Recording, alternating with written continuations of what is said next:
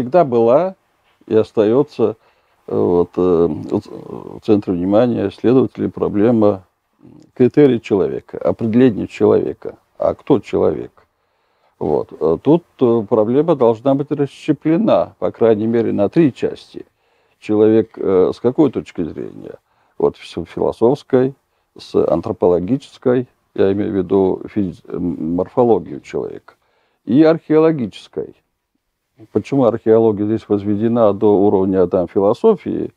А потому что единственная наука, которая может э, говорить о э, характере культуры и истории человека до появления письменности, это археология.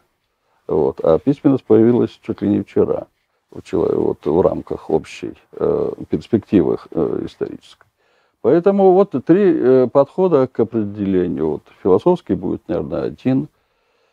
Не наверное, а он есть один. Э, он будет только направление намечать, как э, нам исследовать эту проблему.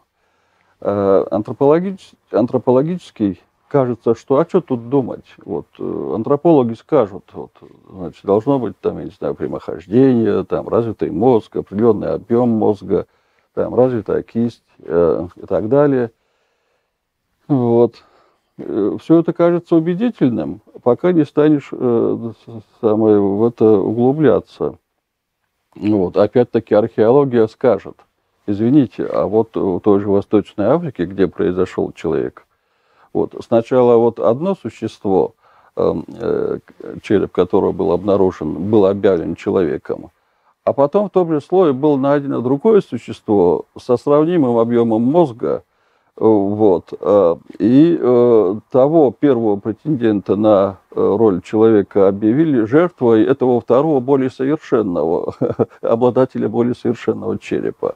Вот, Зинджантроп и Презинджантроп, который, да, эти названия, с этого начиналась, э, начиналась археология э, Алдавана э, в Северо-Восточной Африке. Э, так вот, оказывается, что не совсем прямохождение. Ну, прямохождение э, австралопитеки, которые никогда ни, никакими антропологами не относились к роду человека, а они в, в семейство входят, гоминид, а вот они прям бы вполне ходили, э, так сказать, э, обладали этим прямохождением или бипедализмом, как называют, то есть двуногостью, вот, не будучи человеком. Вот, значит, опять не работает это самое. Вот, объем мозга, э, я уже сказал на примере Зинчантропа, Зинчантропа, вот, не, не, он не является э, лекалом таким вот, приложил и определил. Вот. Ну и так все другие признаки. Архе, а, а, археологический критерий вот, оказывается интересен. Вот. Э, человек – это существо, способное что-то производить, создавать культуру в любой форме, э, там, называйте ее передовой или же примитивной – но он изменяет мир. Вот. Изменяет мир не тем, что ломает, крушит, там, поджигает. Вот даже если и поджигает, это тоже культура. вот определенная. Вот. Он изготавливает орудие труда.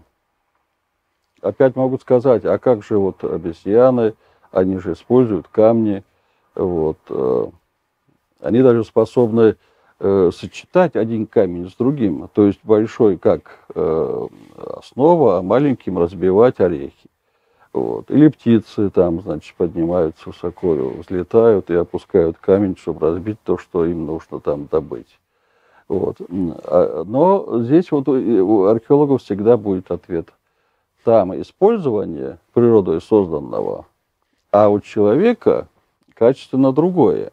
Он изготавливает одним орудием, используя одно, изготавливает другое. Вот. А за этим уже цепочка характеристик, там, э, которая нам даст объемное представление о качественном отличии от э, этого существа от представителей животного царства, от всех других. Вот. Именно способность к целенаправленному, осознанному, сознательному, э, э, вернее, правильнее сказать, сознательной, целенаправленной деятельности, которую мы будем называть не орудийной, э, не манипулированием природных предметов, а трудом. Вот. Таким образом, а это не всегда можно по тому, что мы находим на стоянках, понять. Вот что есть то, что мы изучаем. А, и исследователи изуч, изучали, например, вот так называемое вот производство, так называемое шимпанзе. Что после них остается? После них остаются вот эти осколки от чипа, которые можно классифицировать и э, дать им характеристику. А на стоянке человека там будет совершенно другой набор, предполагающий там осмысленную деятельность, э, вот, э, э, и несопоставимую технологически э, по своей сложности в сравнительном плане. Вот. Таким образом, э, мы не раскапываем же их э, как бы жизнь живую, этнографическую, их реальность. Мы раскапываем то, что остается от их деятельности. Вот по этим признакам мы определим. Затем обезьяны, как выясняется, даже самые развитые, вот, продвинутые в этом смысле, они никогда они не, не, не, не транспортируют э, орудия. Вот они вот здесь нашли, здесь же использовали. Это э, такое эпизоди, э, э, эпизодическое использование. Все изменилась ситуация, все забыто.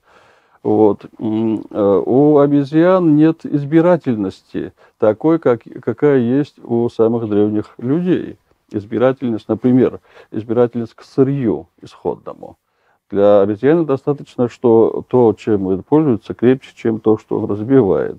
Вот. А там не важно, песчаник это, известняк, кремень и так далее. А для человека же, для, даже для самых первых, во всяком случае, тех, о которых мы говорим, там двухмиллионной древности у нас, по фактами установлено, что для изготовления орудий они э, выбирают сырье, например, лучше всего кремень, вот, если э, есть, они его ищут, они его добывают, если они нашли источник, они будут поблизости него, может быть, и жить. А если отдалились, они помнят, где это находится, и ходят туда, чтобы его эм, э, перенести э, на место их жизни, обитания.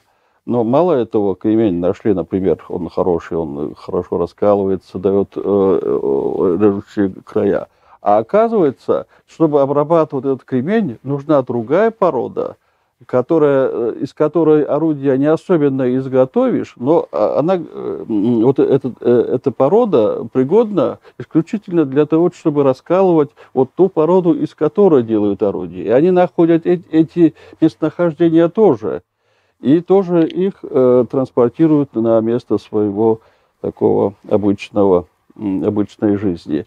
Вот. Э, это сложные вещи, это, э, это уже э, просто деятельность вполне человеческая, осознанная и даже, может быть, современному человеку не всякому там сходу он к, к, к ней и готов, даже к такого рода деятельности, потому что надо знать физические свойства предметов даже. Не то, что там дает острый край, это просто казалось бы, а то, что там кварцитовый кварцитовая галечка наилучшим образом подходит для получения из, э, с кремневой основы а, определенной длины э, заготовок этих ножей и так далее, что именно кварцитовая.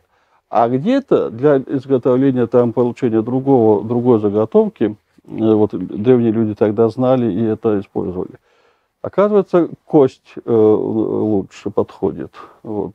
Э, даже на самых первых этапах. Просто трубчатая кость, вот, которая отбивается именно желательной длины, желательной толщины. Вот. Это ведь не, не то, о чем мы говорим, животно, животнообразное э, манипулирование предметами природы, которые у обезьян.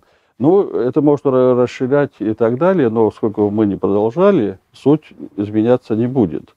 Есть качественное отличие. И получается, что такая узкая дисциплина, как археология, вот в определении человека, грани, это скорее э, проблема грани между животным и человеком, вот, оказывается способна дать э, ну, такой определенный совершенно ответ, который не способны дать другие дисциплины.